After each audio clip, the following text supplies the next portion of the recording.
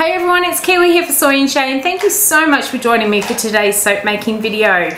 We're going to be making lemon poppy seed soap, which is an exfoliating soap bar. I get a lot of requests to do this soap with poppy seeds in and usually I would use some um, lemongrass and Persian lime fragrance oil. But this time round I was given some lemons from a friend of mine who runs Jasper in a jar and I popped them through my copper still and I made some lemon hydrosol and I decided to use that in this soap to give it that real fresh lemony burst, mainly because the fragrance oil that I was going to use, I didn't realize at the time of purchasing it, had a really low usage rate on it. So I decided to combine it with this lemon hydrosol and I've also added in some essential oils to give it that really good lemony boost. So we're gonna go and check out you can hear the magpies. Let me show you what's going on here. So we've got a couple of magpies that have been coming to visit us every night and um, they basically sit there watching my dog eat her dinner, just turning the light on outside. And these little guys, I'll see if we can find some food. So Lucy's eating her dinner and there's one and here's the other one. This one's a little more, a little less um, frightened and he will take it from out of my hand. This one up here is a little bit more cautious. We think this one is the male. He's a bit bigger. Um, but if I pop it up on the barbecue, this is meat because they are meat eating birds. I'm actually going to go and get them some worms so they can um, have some something that they would actually eat in the wild. But if um, Miss Lucy leaves anything in her bowl, these two will come and eat it anyway. So for now I've just got little pieces of meat for them but as I said I'm going to get some worms. See if he comes up and gets it. It's a really really windy day so I'm surprised they came up tonight. There you go you can have some too. Oh I missed him. So before they started singing I was going to say let's go and see how I make the lemon poppy seed soap. Let's go Okay, so let's jump into making this soap. I've got my oils here. I have got my lye water. Now, when I made my sodium hydroxide and distilled water, I used 130 grams less of water to dissolve to what it says to use because in here I have 130 grams of lemon hydrosol and there's a little bit of lemon essential oil sitting on the top here. I was given a bunch of lemons and I put them through my still and this was what I ended up with and I actually specifically distilled these ones. I used a steam distillation to get some essential oils in here to add into the soap. So pour that in first. I'm then going to pour in my lye water, mix it up, and then we're going to split it up for some colours.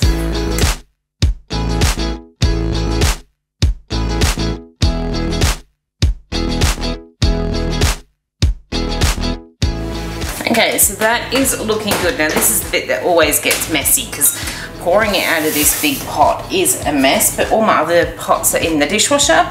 In this container here, I have got some canary yellow, which is a quite a pale yellow. I told you I was going to get in a mess. I've poured that all over my bench here.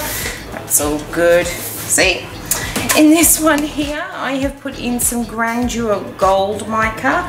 See if I can do this one without throwing it everywhere. That's a bit better. I kind of went for the grandeur to kind of represent the seeds that you can find in lemons. This one here, this is going to be fun to pour out. This is just a little bit of titanium dioxide dispersed in some water. Oh look, I managed to do that one without throwing it everywhere. In my big container, I am going to put some Wellington.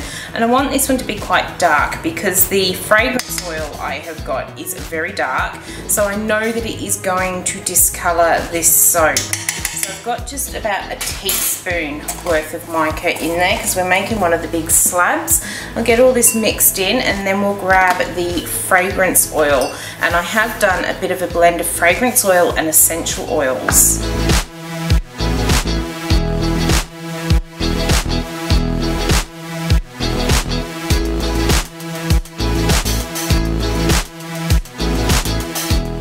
So they've all had a good mix. We've got the colour mixed in, I've got the fragrance all mixed in. There was just a lump of mica there. I think it's gone. It'll go when I put the fragrance in, I know that.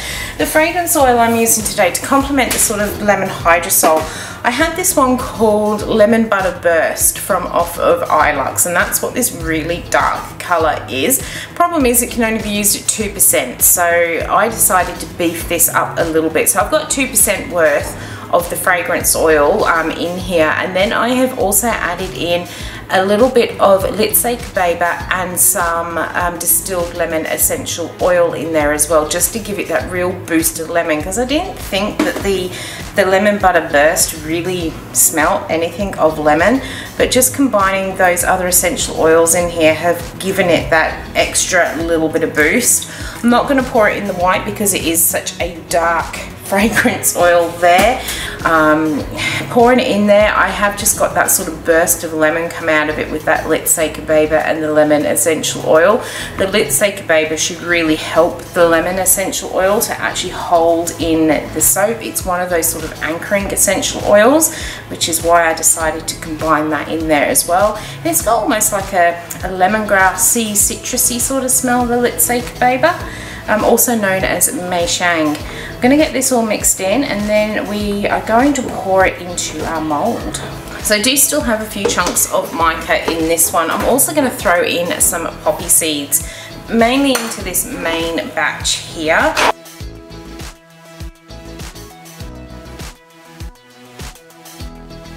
Alright, so given that a quick stick blend, that's stayed nice and fluid doing that. It would have broken up a few of those um, poppy seeds, but it's also finished dispersing that mica. So really pleased. I think I'm just going to do a basic drop swirl into this soap. So let's get all this out the way and get our mould.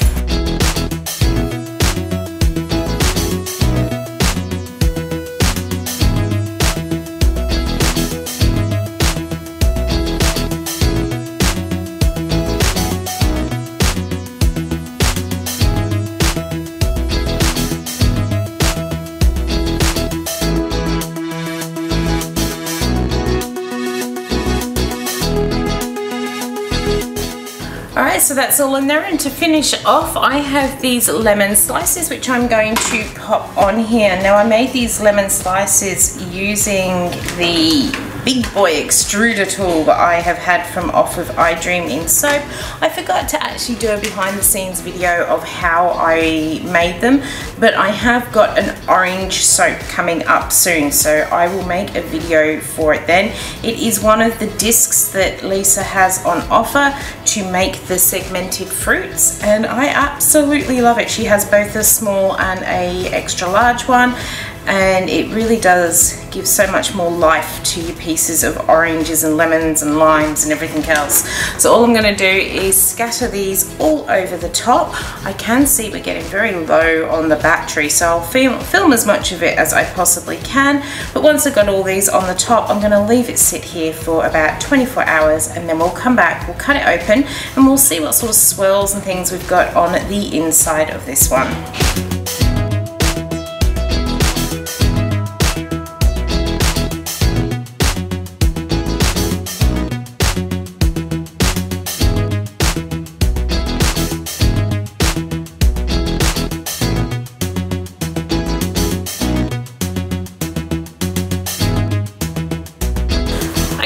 Are back to cut into lemon poppy seed. I love how the top of this one has come out. Hoping to get a few swirls in here. Didn't get too many as I was cutting, but that's a really pretty side on that one.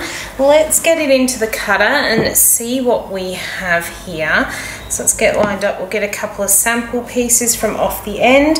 This one, I don't know, my sense of lemon must be very different. I, I'm not kind of getting that sweet lemon that I associate with lemon fragrance oils. It probably does have that very lemon essential oil sort of smell. It's very clean and fresh.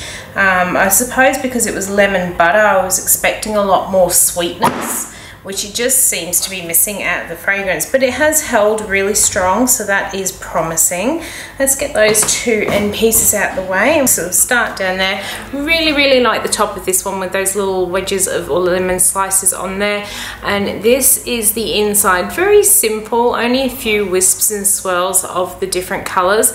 I'm expecting this one to darken up a little bit. So if you come over and follow me on Instagram, I will post pictures of this one when it is um, ready so you can see just how dark this fragrance oil may turn this one. I'm hoping that it doesn't. I'm hoping that the blend with the other essential oils really stabilizes it. It does smell clean and fresh. I suppose it does have that kind of lemony smell. I think the essential oils are really shining through on this one. It certainly doesn't have the lemon butter smell that I was expecting out of that fragrance oil. But overall, I am still pretty happy with it. Um, it's not one of the um, most intricate designs I have done, but the star of this one is the poppy seeds. I get so many people asking me to keep making the poppy seed soaps. Usually I do it with lemongrass and Persian lime, but this time I thought a nice lemon one would be good with our upcoming summer weather, just to give that little bit of brightness and freshness in the morning. So I hope you've enjoyed watching how I make my lemon poppy seed soap. If you did, why not leave me a thumbs up and any comments down below. And until the next video comes out, I hope you have a good one and I will see you then. Bye.